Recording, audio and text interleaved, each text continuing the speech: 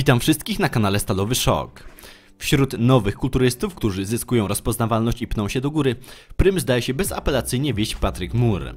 Jest on postacią o tyle istotną, że jego muskulatura zdaje się idealnie wpasowywać w wymagania, jakie stawia się współczesnym zawodnikom, czyli oczywiście przede wszystkim imponowanie ilością masy mięśniowej, ale jednocześnie utrzymywanie odpowiednich proporcji i dbałość o właściwy wygląd środkowej sekcji.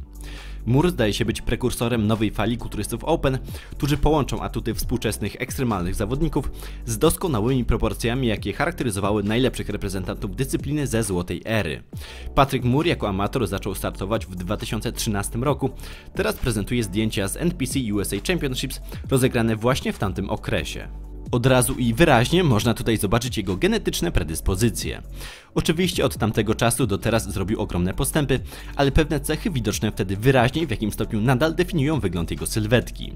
Przede wszystkim od początku prezentował niesamowite proporcje. Niedawno na Instagramie opublikował post, na którym mierzy swój obwód talii i wynosi on 31 cali, czyli niecałe 79 cm. Jednocześnie należy mieć świadomość, że na ostatniej Olimpii ważył 230 funtów, czyli około 104 kg. Oczywiście nie jest to jakaś szalona ilość masy mięśniowej, ale wystarczająca do tworzenia z wąziutką środkową sekcją fenomenalnego kontrastu. Jeżeli chodzi o partię, to na pierwszy plan wyraźnie wysuwają się klatka piersiowa i ramiona. Klatka jest naprawdę ogromna, pełna i dominująca. Ramiona także mają wygląd rzadko spotykany. Biceps ma niezwykle długi brzusiec, który dodaje tej partii wzbudzającego respekt wyglądu. Mur szczyci się, że jego ramiona mają 22 cale obwodu, czyli 56 cm. Plecy są tutaj partią dość problematyczną, bo ile z przodu wyglądają bardzo dobrze, to tyłem brakuje im nieco grubości. Zdecydowanie najsłabszym elementem Mura jako wczesnego amatora były nogi.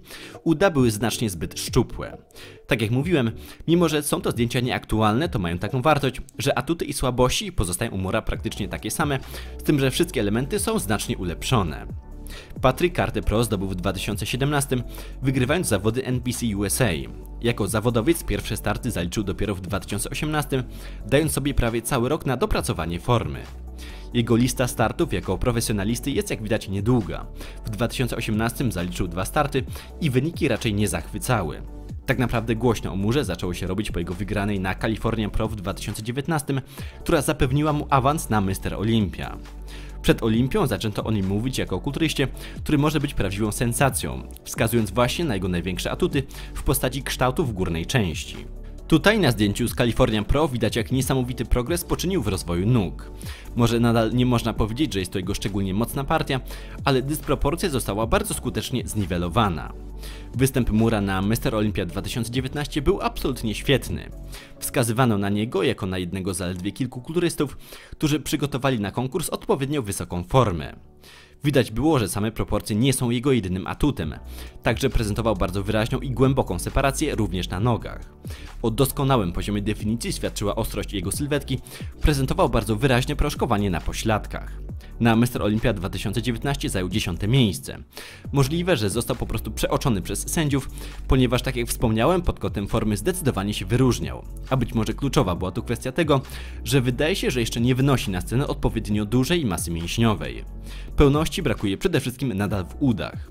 Jeżeli chodzi o pozytyłem, to plecy wyglądają nieźle, ale na rywalizację z najlepszymi zawodnikami brakuje im jeszcze jakości. Jeżeli murowi uda się poprawić te elementy, dołożyć w nich masy, to może być autentycznie nie do zatrzymania. Myślę, że może być on dla kulturystyki postacią kluczową. Jeżeli sylwetka mura będzie nagradzana na największych konkursach, to będzie to jasny przekaz, że poszukuje się aktualnie właśnie tego typu sylwetek i wyraźnie zwrot w kierunku kulturystyki bardziej klasycznej. Bardzo często Patrick Moore jest porównywany i nazywany następcą samego Runiego Colmana. Rzeczywiście na początku kariery Coleman dysponował podobnymi kształtami, natomiast wydaje mi się, że mimo wszystko mógł pochwalić się od Mura bardziej kompletną sylwetką. Myślę, że ciężko będzie Patrickowi chociaż w części nawiązać do jakości tej legendy kulturystyki w pozach tyłem. Mam też wątpliwości, czy same kształty jego mięśni nóg pozwolą na to, by ta partia robiła takie wrażenie jak uda Colmana. Natomiast myślę, że można go tak nazywać w kontekście potencjalnego wpływu, jaki może mieć na obraz kulturystyki. Wiadomo, że Rooney Coman w ogromnym stopniu zdefiniował obraz tej dyscypliny na długi czas i do dzisiaj widać bardzo wyraźne skutki jego pojawienia się na scenie. Czy w przyszłości w ten sam sposób będziemy wspominać Patryka Mura? Nie wiadomo, ale wiele osób widzi w nim właśnie tak ogromny potencjał.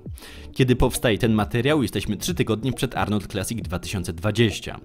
Jest to drugi największy konkurs w karierze Mura, po zeszłorocznym Mr. Olympia. I jest on wymieniany w gronie faworytów rywalizacji, ale raczej nikt nie widzi w nim kandydata na zwycięstwo. Biorąc pod uwagę, że walczył tu będzie z takimi kulturystami jak Big Ramy, William Bonak czy Dexter Jackson. Wydaje się, że brakuje mu jeszcze takiej kompletności, jaka charakteryzuje jego największych rywali. Natomiast wiadomo, że żaden z nich nie będzie prezentował takich atutów w kwestii proporcji. Myślę, że może być znowu jednym z najlepiej dociętych zawodników, chociaż z drugiej strony Dexter czy Bonak też raczej nigdy tutaj nie zawodzą. Innymi słowy, myślę, że na pierwsze miejsce tutaj może być trochę za wcześnie, ale nawet o trzecie miejsce może jak najbardziej powalczyć. Od ostatniej Olimpii minęło 5 miesięcy, ale myślę, że lepiej odzwierciedlające jego progres są zdjęcia, jakie umieszczał na Instagramie w trakcie przygotowań. Różnice są tutaj raczej niewielkie, więc myślę, że można zakładać, że zobaczymy na Arnold Classic wersję podobną do tej z Mr. Olympia. Na pewno ulepszony w jakichś aspektach będzie, ale raczej nie należy spodziewać się spektakularnej transformacji. Najmocniejszą pozą Mura wydaje się być klatka bokiem, gdzie prezentuje doskonałą klatkę i ramiona, plus jest bardzo bogaty w szczegóły. W bicepsach przodem oczywiście zachwyca niewiarygodnymi konturami, plus prezentuje ogromne ramiona. Koniecznie trzeba też zwrócić uwagę na Most Muscular. Ulepszyć tak naprawdę można jeszcze jedynie pozytyłem, które nie tyle wyglądają teraz źle, co prezentując się jeszcze bardziej imponująco, dodałyby mu jeszcze więcej argumentów w walce o największe tytuły. Mur ma 183 cm wzrostu i na ostatniej Olimpii, jak wspomniałem, ważył 104 kg. Jest zawodnikiem nadal bardzo młodym i ma dużo czasu, żeby dopracować swoją formę, dołożyć masy i gęstości, która na jego ramię będzie wyglądać spektakularnie i z dużym prawdopodobieństwem można twierdzić, że mówimy teraz o przyszłym Mr. Olympia. To był Stalowy Szok, a teraz do następnego.